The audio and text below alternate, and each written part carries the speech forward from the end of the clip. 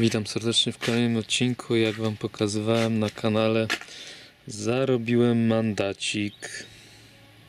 Całe 200 zł i dwa punkty karne.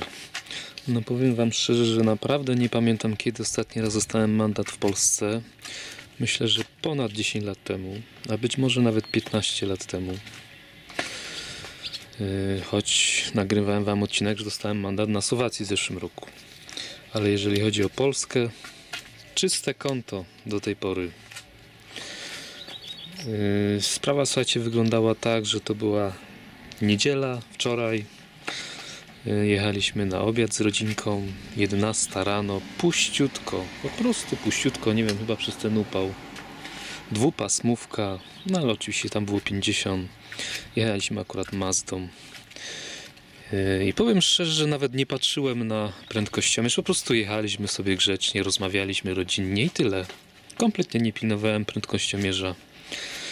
A że to była dwupasmówka, no to wydawało mi się, że jadę powoli. No ale jak się okazało, jechałem 66 na godzinę. Więc pan umundurowany wyskoczył z za krzaków. Auto było totalnie schowane w krzakach. Nic nie było widać. Yy, znaczy ja, jak mnie zatrzymał, byłem przekonany, że no, skoro zatrzymuję, no to na pewno przekroczyłem, ale wiedziałem, że na pewno nie jechałem szybko, choć nie wiedziałem ile, bo tak jak mówię, nie patrzyłem na prędkościomierz. Miałem wrażenie, że się wlekliśmy. No i pan poprosił o jakiś dokument tożsamości, nie miałem prawa jazdy, mówi nie ma problemu, dowód wystarczy. Poszedł, wrócił za chwilę. Znaczy już chyba nawet wcześniej mi powiedział, że to będzie 200 zł, dwa punkty. Ja nie dyskutowałem, no cóż będę dyskutował. Zawiniłem, no to trzeba wziąć y, odpowiedzialność na barki. Natomiast co ciekawe, podobno każda kontrola policyjna miała być wpisywana. Przy okazji miał być kontrolowany przebieg i wpisywany do rejestru. Nie było czegoś takiego. Kolejna sprawa. Ciekaw jestem, czy w ogóle sprawdzał OC Mazdy, bo, no bo ja mu nie pokazywałem żadnego ubezpieczenia, no chyba, że sobie sczytał z rejestracji sobie w samochodzie sprawdzał, tego nie wiem. Yy, kolejna sprawa, nie dmuchałem. Tak więc, no po prostu chodziło tylko o mandacik i tyle.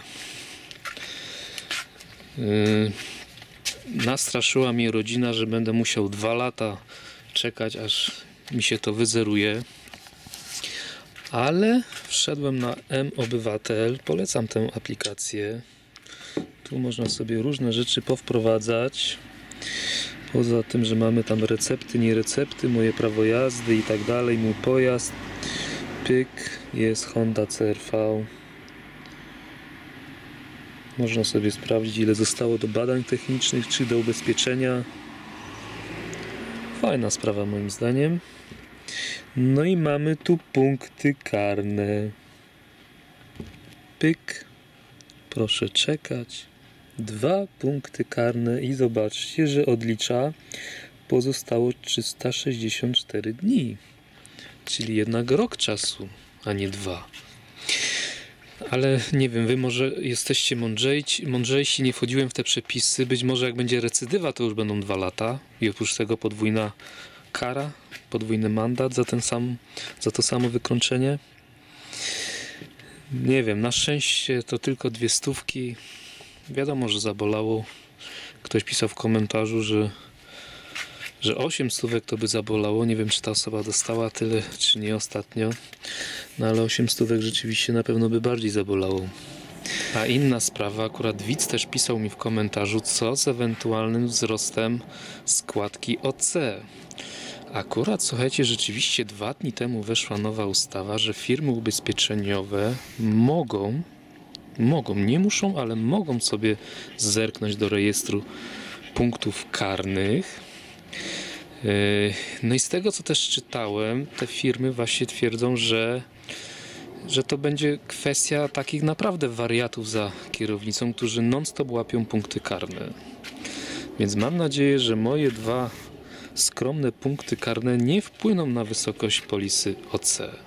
A inna sprawa, bo tu chyba będzie też jakiś bałagan, nie wiem jak oni to rozwiążą, rozwiążą OC przecież jest wypisywane na samochód, a nie na kierowcę, a ja wczoraj jechałem Mazdą, a nie Hondą.